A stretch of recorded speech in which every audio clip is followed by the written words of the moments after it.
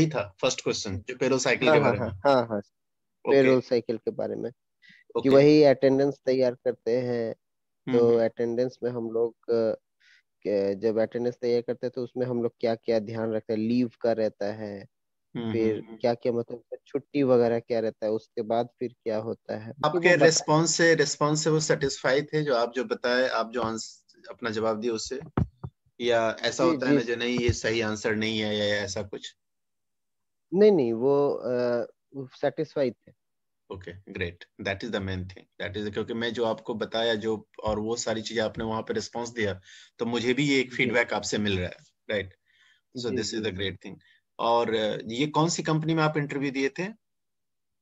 ये था आपका Forbes service private limited okay और आप जब इंटरव्यू के लिए तैयारी करेंगे इसी फ्रेम ऑफ़ माइंड से तैयारी करेंगे जो पेरोल ओके का रूट होता है labour laws and taxation laws right और हमेशा एम्प्लॉयर का फोकस होता है जो कि जो कोई आपको ये आपकी रूट में कितनी स्ट्रेंथ है राइट जी। क्योंकि आपकी जो रूट में जो स्ट्रेंथ है उसी से फ्रूट्स डिसाइड होंगे। फ्रूट्स क्या होगा? तो फ्रूट्स होता है attendance management leave management splitting of wages statutory register deduction contribution separation payment ये सारे फ्रूट्स हैं। जी। और ये जो फ्रूट्स की क्वालिटी है वो डिपेंड करेगी किस पे? रूट के स्ट्रेंथ पे।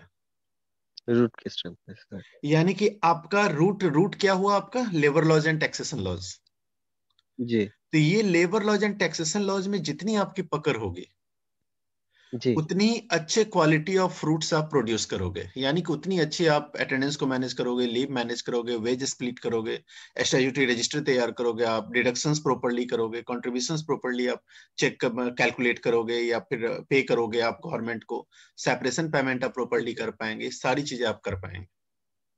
जी सर राइट तो बस इसी चीज़ को जहन में रख के आपको तैयारी करनी है और लेबर लॉज और टैक्सेशन लॉज में आपको जो पेरोल से रिलेटेड है वो तो मैं बता ही चुका हूँ सारी चीज़ें।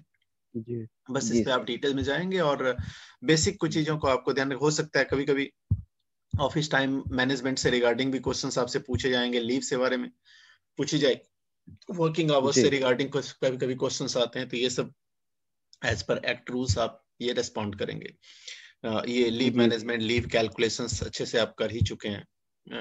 उसके अलावा जो है सो आपका अटेंडेंस मैनेजमेंट आप समझ ही रहे हैं। तो ये सारे और प्लस लेबर लॉज कॉम्प्लायंस आप अच्छे से हैंडल करेंगे? कोई दिक्कत नहीं होगी? आप और जितनी चीज़ें मैं बताया अगर उसको आप सीरियसली गो थ्रू होंगे तो you are going to give the good impression before the employer yes sir